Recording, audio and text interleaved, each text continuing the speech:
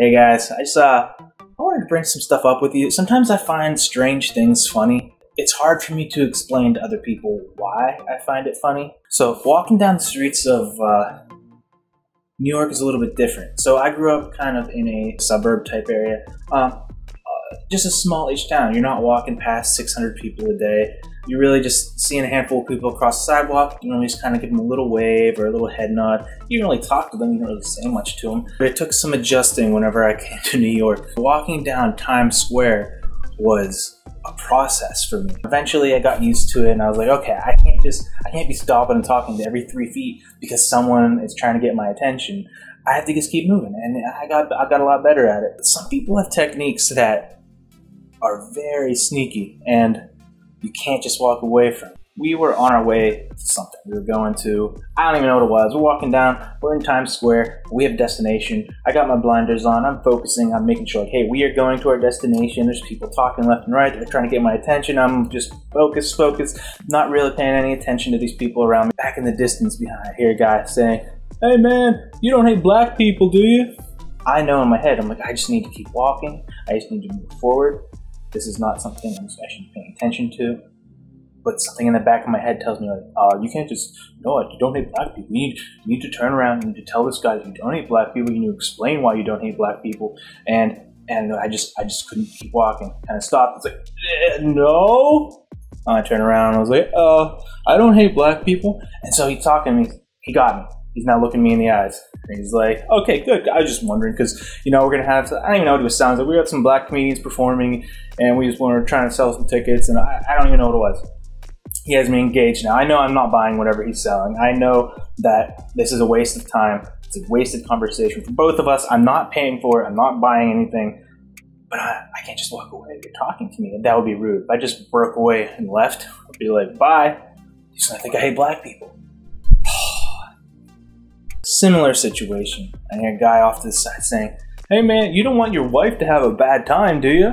And so I'm like, ah, no, no, no, of course I want my wife to have a good time. And there he's got it. I'm looking him in the eyes now. He has my eye contact. Crap! I can't walk away. If I just walk away now, I'm being rude. I can't just walk away. Got me.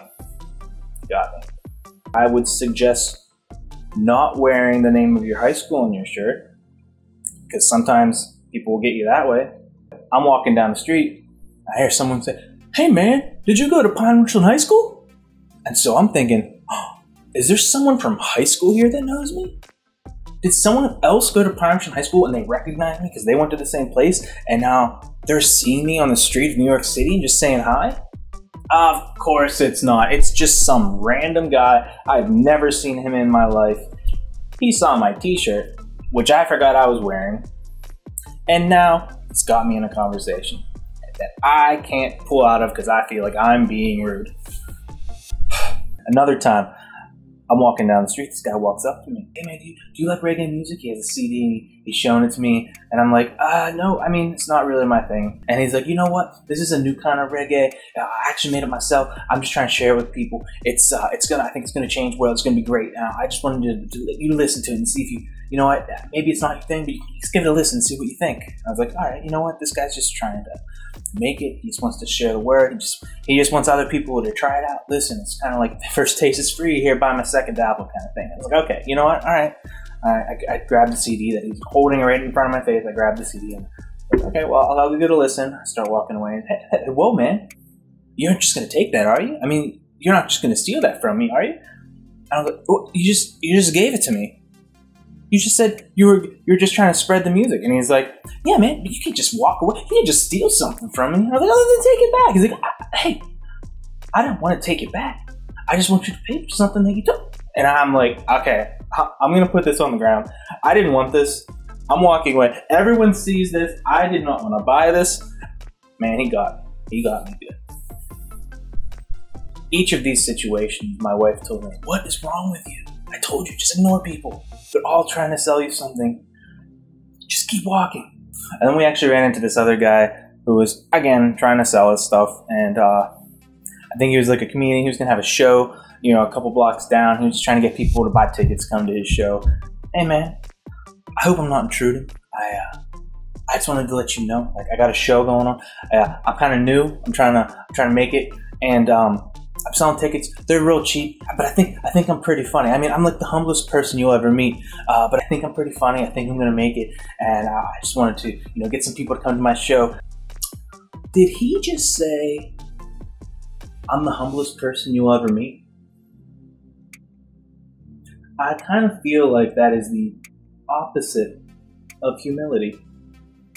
Outside of Times Square, you still see a lot of crazy things. So um, we were just kind of near a park. There wasn't actually a whole lot of people around, and this car just kind of pulls up and parks just like on the other side of the road. I didn't think, really think much of it, but I glanced at it. It's it's a very unique looking car. It's really big. It's like a big Cadillac looking thing. I don't know what kind of car it was, but it's all white. It's really big, like hood uh, on the car, and it's got like these these horns on the front. I don't know what the brand is. I don't know if those are custom horns. I just know this is a unique looking car. And this guy steps out of it in full cowboy regalia. I mean, you see boots first, and then they come out and they got the jeans. They got the the, the hat, putting on the hat as he gets out of the car. It's this big leather hat. Uh, he's got that kind of like blue long sleeve shirt with leather vest with tassels on it.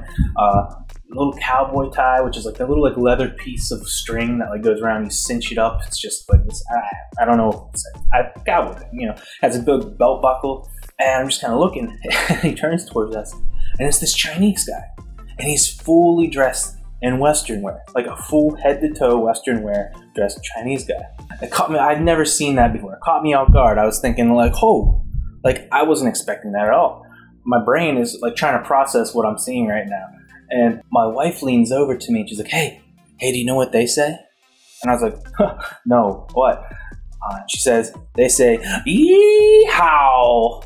Another thing you'll see pretty frequently in New York um, are beggars. Depending where you are, you see different kinds of beggars. So we were in this kind of nicer area. I wouldn't even say it was like an upscale area. It was just kind of like a strip mall type type thing, pretty small. This guy that I wouldn't have even known he was a beggar. He just was dressed kind of nice. And he walks up to us and he says, "Hey man, I'm just trying to make a buy. Could you spare 20?" I guess kept walking, and you know, me and my wife just kept going. And I turned to her and I was like, "Did he just ask us for a 20?" And she's like, "Yeah, I think he did." And I was like, "Wow, that's that's a pretty ballsy move." you know what? That's actually a pretty good move. I mean, he wouldn't do this if it's not worked at least a couple times, right? It's not like I'm walking around in nice clothing. I don't look rich. Uh, I just have t-shirts and shorts. I'll, he might have been dressed better than me. Just another time, we were just kind of like walking around. This guy comes up and you know, real quiet, real humble, real, real nice. Just says, "Hey, hey man, uh, I'm just trying to get something to eat. I'm really hungry. I'm starving over here, and if you just help out with a couple bucks, I'd really appreciate it." And you know, I appreciated that he, he at least, you know, he asked nicely and I nicely declined because he had me by a good 200 pounds. And weird things don't just happen in New York, they happen everywhere. So I was, uh, years ago, I was at this youth retreat. Um, it's for like middle schoolers, so these kids were like in their early teens or something. So they're older kids, but still kids, they need supervision. One of the things that they had there, um, they had this guy here with like, I don't know, maybe like eight horses, and he was not necessarily giving riding lessons, but just letting kids ride horses. You know, I had a group of kids, they all wanted to do this, so we went over and he asked, Hey, does anyone here have experience riding a horse before? Now, when I was about their age, one time, I rode a horse. Probably in a similar situation. They said, pull left to go left, pull right to go right, pull back to stop, and squeeze your leg to go. That's all the direction they gave us. The one instruction I remember is him saying like, nah, make sure you don't let the horses just eat whatever they want because they have bits in their mouth and it makes it hard for them to chew. So if they eat something off the ground, uh, they could have trouble chewing it, it get stuck in their throat, they could choke, they could die. And so we're walking down this trail and uh, at one point, like it just kind of, everyone stopped and looked down. I think he saw like an apple or something. And so he slowly started reaching down for the apple and I'm like, whoa, whoa. I'm pulling back on this thing and I realized I can't stop him. The two ton animal. I'm a, like I'm like a ten year old kid, twelve year old kid. What am I supposed to do? Anyways, I don't really remember the rest of that, but that was the sum total of my experience. I raised my hand. I said, "I've ridden a horse before," and that was all the information he needed. Didn't ask any follow up questions. Said, great, awesome. So I'm to lead this pack. I'm to be up there. Um, there's to be like, you know, seven people trailing. You're to be in the back. You're to be the last one. And if any of these kids, if the horses start veering, veering off and going on their own way, I need you to go wrangle them and bring them back. Oh, he's looking for someone experienced, not just someone who has done it. Because I know pull left to go left, pull right to go right, pull back to stop, and squeeze your legs to go. And he's looking for someone that knows how to wrangle. And so I say, okay. Luckily, nothing happened. But uh, I think maybe the instructor should have asked at least one follow up question. Something else that regularly happens. Um, I don't know how or why. It seems to happen to me very frequently, but I will run face first into a spider web. You know, and it just kind of like rests across your face. You walk into it, it's like across your eyes. You're trying to grab it and pull it off. It feels all stringy, and you're like, I'm just going out to get something out of my car. And I'll go through this fence, open the gate, I walk through the gate, hit a spider web right in my face. Ah, come on, man. Go get the thing out of my car. Come back through the same gate. Nothing has changed. It's like 30 seconds later. I walk through another spider. Hits me right in the face, right across my eyes. I'm trying to pull it off my face. And I'm like, what the heck? I literally just walked through here. Was the spider just sitting there trying to clothesline me, waited till I went through, then strung another line thinking like this one will get him. Another time I was walking with my friend who is a good six inches taller than me. I'm behind him. We're just walking. I'm like I'm like four feet behind him walking. We're walking in a field. There's not even trees around us all of a sudden, spiderweb right across the face. I walk right into it. I'm pulling it off. I can feel it coming off, like it's around my ear and stuff. I'm getting it off me. I'm trying to get it off my hands, all sticky. I was like, dude, did you just walk into a spiderweb? And he turns around and like, no. And I was like, you're like six inches taller than me. You were four feet in front of me. We're walking in the same place. There's not even trees around us. How did I just get hit with this spider web? The worst one is when it's nighttime and you're walking through a spider web. So like you're coming home late, I'm fumbling with my keys, trying to find the right key. It's dark, can't really see very well. I'm just walking up the porch, and all of a sudden I feel like like it's right across my whole face. You know, sometimes it just feels like a little line. You hit a little line, walk into it, feel it, just take it off, try to get it out, get out of your face. Um, it wasn't one of those. It was like you know, bam! Like I feel like I just walked into the middle of a spider web, a freshly built spider web. If you've ever seen them, the spiders like sit right in the middle of this big circle. And I felt like I walked like right there's the target, right in the middle of the circle. And so I'm like you know, freaking out trying to get off. It's fresh, it's sticky, it's like sticking to my hands, I can't get it off. And then after I do this for a little while, I'm trying to get everything off, you kind of just sit there and your spider senses start tingling. You know what I'm talking about? Where you're feeling any slight motion on your body, anywhere at all. And you're like hyper aware of everything happening you're ready to slap. If you feel the slightest movement on you, you're ready to slap it, you're ready to punch it, because you know there's a spider on it. So a little breeze happens, and it moves the hair on the back of my neck. I think it's a spider, and I try to get it. And then, okay, hold on, that was it. Piece of spider web blowing, blowing the breeze, and it feel pulls your hair, and you try to get it out. And then eventually, you just have to go inside. You're like, there's a, there's a spider. I know there's a spider on me. I'm gonna bring it into the house. I'm gonna go look in the mirror because I know there's a spider on me, and there's never a spider on you. The spiders never make it onto. At least they never show themselves. They're probably in my house right now. I would love to know if these kind of things ever happen to you guys. Uh, if they do, leave a comment. Let me know.